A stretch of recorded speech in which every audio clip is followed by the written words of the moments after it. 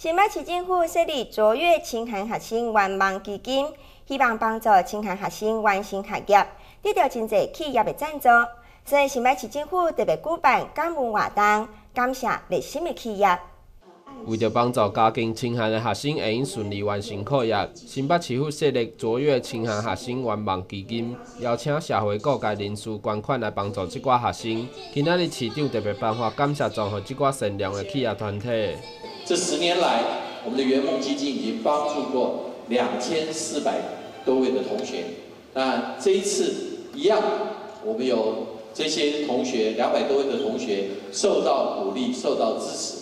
单单这个金额就超过一千八百多万，接近两千万元的这个支持，让很多的孩子能够突破困境，甚至能够考上很好的学校，未来有很。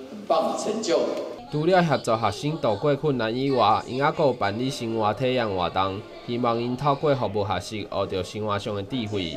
活动中嘛安排学生代表上中组的团体亲手做的彩绘两卡。因为这个活动，我看到来自不同学校的精英是如何呃从困境中找到希望，然后面对不熟悉的同学，做到的是互相扶持，而不是互相排斥。然后这边没有所谓的你跟我，而是整个团队。好，呃，经过一系列的游戏跟对战，我发现整个活动的共同特色都是团结。呃，一只筷子容易折断，但是一把筷子就不一样了。这笔愿望基金自九十四学年度开始，已经帮助两千四百名的学生。今年感恩活动以“点亮新竹，逐梦圆满”做主题，最后全体学子伫黑暗中摕着电话，用歌声做一个圆满的结束。记者苏宏杰新北市采访报道。